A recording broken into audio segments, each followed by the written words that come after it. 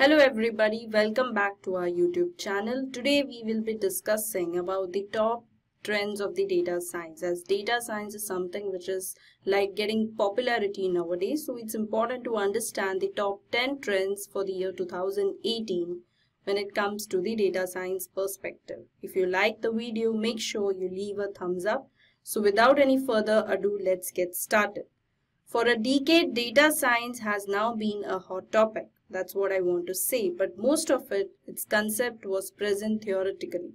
The practical implementation or the practical application development of data science became only possible after the existence of large data sets to work upon or even introduction of the machine learning algorithms and systems to operate these algorithms are trending nowadays. So basically I can say Data science includes various modules like data analytics, big data, with deep learning and machine learning skills, which is forming the lifeline of the IT industry. To refine the data analytics strategy and to be successful data scientists, gaining deep insights of customer behavior and system performance is must. So, be on the apex with the knowledge of the latest data analytics trends and that is what we, we are understanding in this video. The first thing which comes into picture is Internet of Things or we can say IoT. These words are getting more popularity like when it says for blockchain, for decentralized applications, Ethereum, Bitcoin and all that things. So Internet of Things is a major contributor or we can say it is the backbone of future customer value. Adoption of intelligent agents like the one which you can see in the advertisements nowadays when it comes to Amazon Alexa or the simple Google Assistant in your smartphone is on the rise. This has opened the marketer's eyes to new ways of interacting with the customers and they'll wake up to the IoT opportunity. If you want to check out for the market value, Internet of Things is expected to grow up to say US dollars of 170.57 billion in 2017 to 561.04 in 2020. This is what is the expected rise. The next thing which trends into picture is about the hyper personalization and what is it? Like everybody is tech savvy nowadays and uses a variety of devices and platforms. Let it be with a different set of operating systems to suit their needs. Businesses are evaluating and evolving their modes of interactions to build more and more sophisticated and personalized relationship with the customers. So when i say hyper personalization it is the process or the action of creating extremely targeted messages that resonate and connect with the specific subset of overall audience. And that is what is the trending chart number two because it creates various set of different campaigns and multiple different groups and helps customers to create their own brand.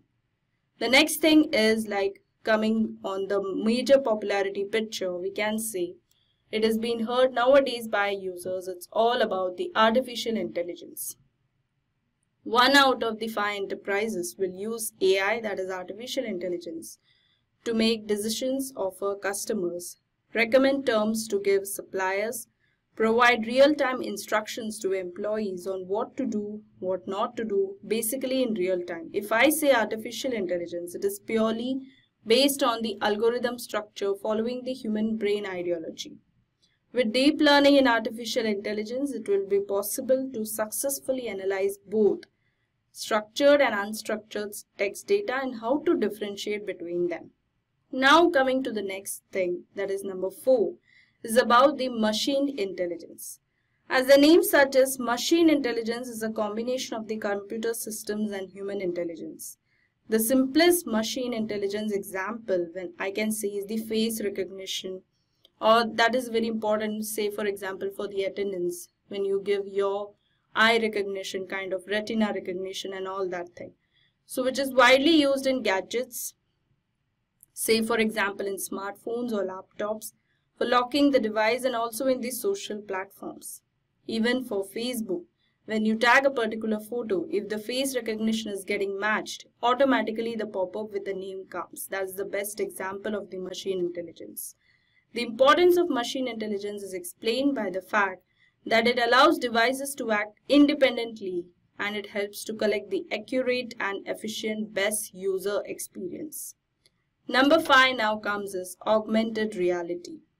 Augmented reality is an enhanced version of the reality where live, direct or indirect views of physical real-world environments are augmented with superimposed computer-generated images over users' view of real world, thus enhancing one's current perspective of reality.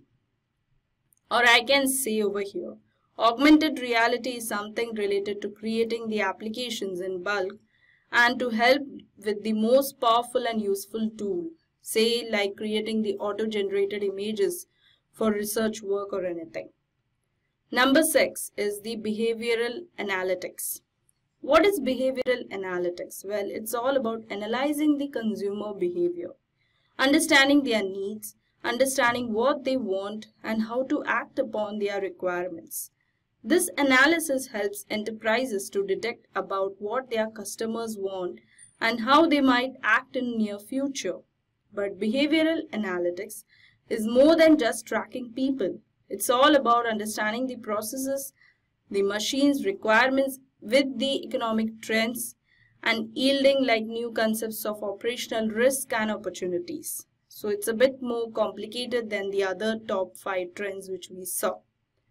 Number seven is the graph analytics. Graph analytics is an analytical tool that leverages graphs to analyze, codify and visualize the links that exist between the databases or devices. This is the typical kind of a definition which I would like to say. But if I want to say in layman terms, Graph analytics is something like creating a graph like a structure for a particular model with the requirements being fetched and it is actually between the databases or devices in the specified network. Enterprises are considering migrating towards the graph analytics as they are facing a lot of issues and difficulties in the current analysis set. So these difficulties are termed as some forbidden issues and they're difficult to solve. So it is like even more complicated and most widely graph analytics is used in medical research where data analytics is the prime, uh, we can say the prime importance is placed over there. And the next section or the next uh, division or the field where it takes place, it's all about the bioinformatics. After that, we have the next thing to do is, is journey sciences. Journey sciences is number eight where it is termed as the new frontier in the big data analysis. When I say for big data, what is journey sciences? A journey or a story is a series of related activities of a customer uh, or a particular patient or employee or a machine. It's like starting from the beginning till the end, getting the complete detail of their journey. Journey science is a absolutely intelligent art of deriving the purpose through the connected set of series or events or some connected values, say connected data. So this is comes to the constituency of number 8 which we are training nowadays. And the number 9 which comes into picture is agile data science.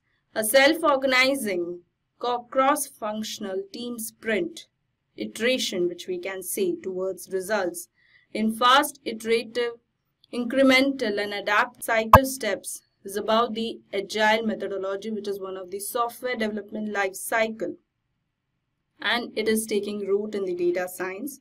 So agile is the data science boost productivity of complex collaborations and I can say, I can assure that data science teams are now following the agile methodology. So this constitutes an another kind of a study which is the agile data science which comes under number 9. Last but not the least, it's all about the experience economy, which is number 10. So I would like to say a company intentionally uses services as a stage and the goods as props to engage the customers in a way that creates the memorable event. The rise of experience economy is like one of the important motive or trending thing in the market. With the world revolving around gadgets and technologies, consumers design to create something with relation to the entertainment perspective. They want multi-sensory experiences, which include, say, for example, sight and sound. Also, they want to be restricted by the criteria like, say, for example, the venue or the time of the entertainment. So that is about the experience economy, which comes under number 10. So these experiences form a unique part about them, which we can share with our friends and followers. So these were the top 10 trends of the data analytics, but or we can say specifically a part of data science. So that's it for now and thank you for watching. What do you want me to cover next? Let me know in the comments section down below. And don't forget to subscribe more amazing videos by Eduonix.